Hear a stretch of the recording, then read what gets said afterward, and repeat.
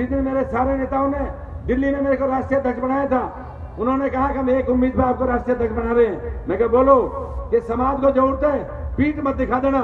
मैंने एक बात कही थी कि सब कुछ लुटा दूँगा, लेकिन समाज को पीठ नहीं दिखाऊँगा। ये मैंने वचन दिया था और वो करके दिया।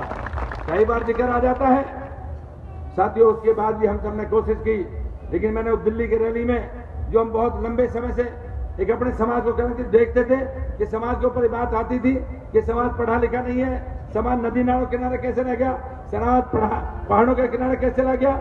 कहीं ना कहीं इस बात को हम झेलते आ रहे थे।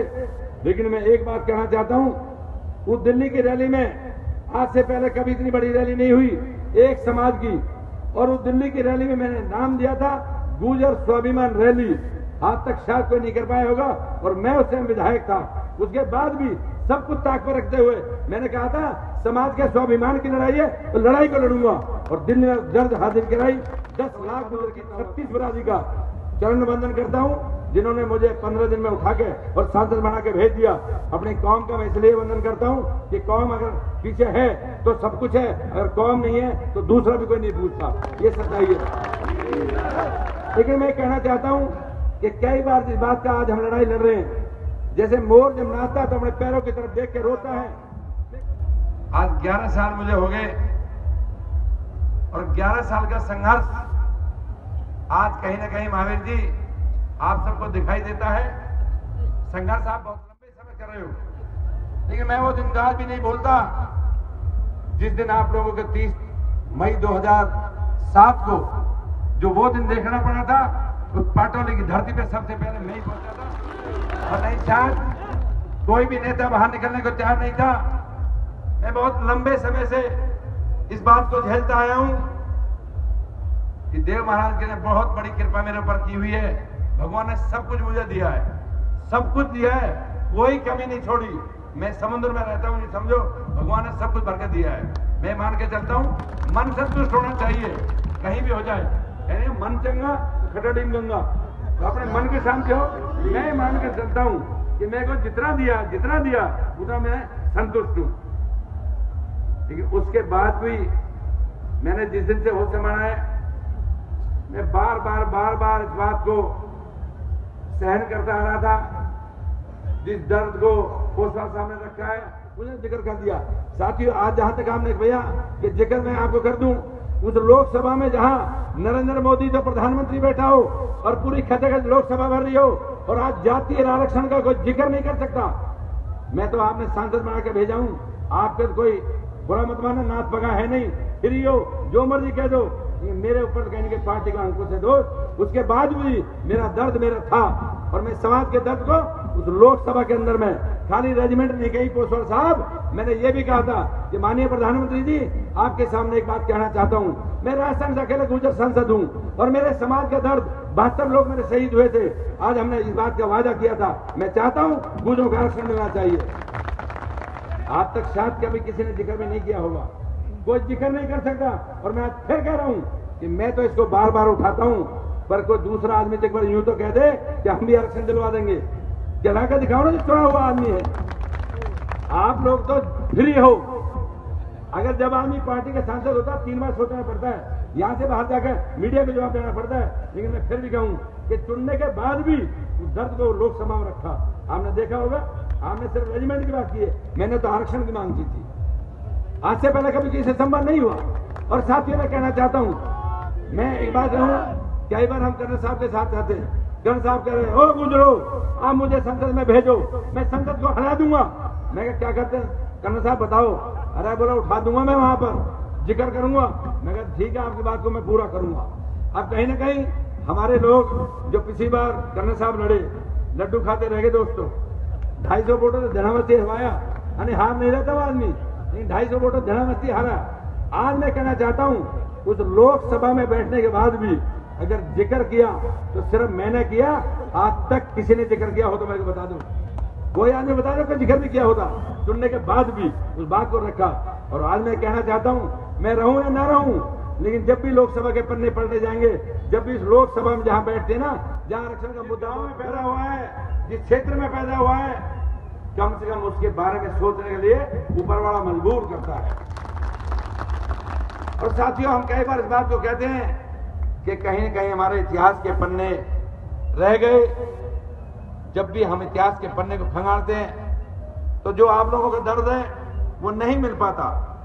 लेकिन मैं फख्र से कहता हूँ जहाँ वहाँ भी इस गुर्जर समाज का योगदान रहा है। पुष्कर कोई दूर नहीं है। आज भी जब भी ब्रह्मा जी का एक मंदिर कहलाता है, वहाँ भी आपकी बेटी, आपकी बहन क्षेत्रीय गोद की गायत्री देवी के साथ हमारी मूर्ति लगी हुई है। इससे बड़ी और हम क्या परीक्षा दे सकते हैं? अरे साथियों, मैं उसके बाद भी चलूँ। आज जहाँ तक आपने महाराज उदय सिंह की बात कही है, अगर नंद बाबा को ज़िक्र करूँ तो अपनी बेटी का बलिदान देके इस शहीद खानदान को हमने चलाया, जो कृष्ण जी को हमने जन्म दिया और अपनी बेटी का बलिदान किया। इससे आगे और हम परीक्षा क्या दें।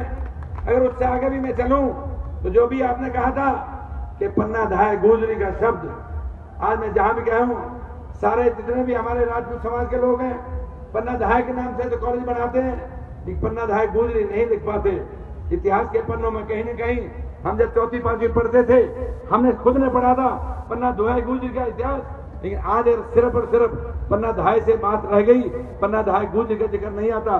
जिसने अपने बेटे को कह दिया हो कि मेरे बेटे को काट दो, लेकिन महाराज खादान को बचाने का उन्होंने काम किया था। इतना बड़ा आज तक शायद अपने बेटे को कोई भी बलिदान नहीं दे सकता। उस पन्ना दहाई की मैं ज़िक्र करूँ। उसके बाद भी अगर आपने ज़िक्र किया कि सरदार वल्लभ भाई पटेल जब पूरा देश आज़ाद हुआ था।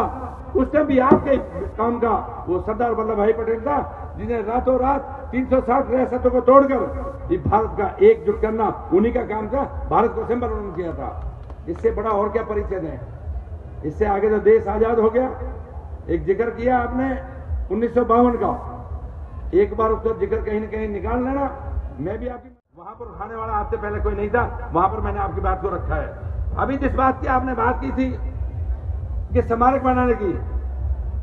भोसवाल साहब, मैं आपको कहना चाहता हूँ कि इस आरक्षण के बाद में किसी का नाम तो मैं लेना चाहता।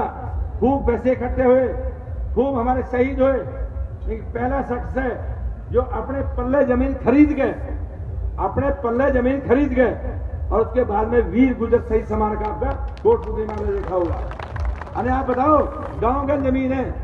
अगर कोई साझे खाते की ज़मीन में भी ना एक दो बाई दो की आज तक आपको मंडी नहीं बना सकता, मैंने जैसे धौलपुर के पत्थर में जैसे आप इंडिया गेट पे देखते हो, वैसा भी कुछ सही जमानत बनाया हुआ है, आप भी बहुत गए हो गए कितने लोग गए देखा कि इन्हें और कोटमुली देखा ना?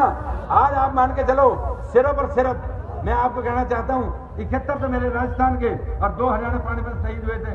आज जब भी कोई जाता है, हमारे कई कॉलेजों के बच्चे लिखी पढ़ी बच्चे गए थे। उन्होंने लिख के गए कि सांसद साहब, धन्य है आप इस समाज में पैदा हुए। आज इस इतिहास को पढ़ के वहाँ पर मूर्ति किसकी वहाँ पर मूर्ति बहन गायत्री देवी की है पन्नाधाय गुजरी की है, नंद बाबा की है, सरदार पटेल की है। लोगों को हरक बनता है। आने वाली पीढ़ी को पता लगता है कि इस कौम में कोई ऐसे ऐसे दूरवीर पैदा हुए हैं। ताकि इस बात का ज़िक्र करूँ। साथियों, मैं ये भी कहना चाहता हूँ आप सबने ज़िक्र किया।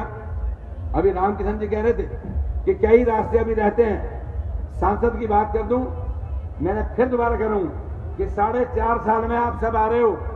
बहुत से लोग पिछले दस पाँच साल से आ रहे होगे ना। देव माना जाते हो ना आप लोग? लंबे समय से आ रहे हो। अपने दिल पर हाथ धर के बताओ, इस साढ़े चार साल में कोई बदलता हुआ दिखाई दिया, नहीं दिया? जब आप आते हो ना, आपको हमेशा से एक छोरे गाँव बीच में पड़ता है। इतना सा रास्ता था। आज वो इतना कर दिया। किया नहीं किया। उसके बाद भी मन नहीं भरा। अध्यक्ष महोदय कहने लगा, बाहर से भी बाईपास निकालो। अभी कल परसों हम चंद्रकला हमारी प्रधान है। हमने दोनों ने कहा कि मेरा ऊपर से आ लिया। पर वो इतनी जल्दी बनाने से बीस लाख रुपए हमने फिर दोनों ने दिए। देखा कि बाहर का बाईपास भी रोड बन जाए। क्या कि ये आप लोगों के अंदर के भाव से पता लगता है। आज के इस कार्यक्रम के अध्यक्ष और देवड़ी निवास से आप सबके लाडले विधायक, मेरे छोटे भाई राजेंद्र जी गुजर साहब, मंच पे विराजमान, जिस हिसाब से, क्योंकि जब तक संगठन नहीं अच्छा होता, तब तक भी किसी भी धाम की और किसी ट्रस्ट के आगे बात नहीं बढ़ सकती। ऐसे कोषाध्यक्ष भाई हरिनारायण जी जोई साहब, पूर्व महामंत्री, आज के जो मंच को संचालन कर तो उत्साहित जोश दिखाई दे रहा है माननीय रामकिशन जी। हमारे बीच में जयपुर हाँ। बाबुलाई वाले देवगढ़ सेवा समिति बगलाई तहसील दोसा। इनका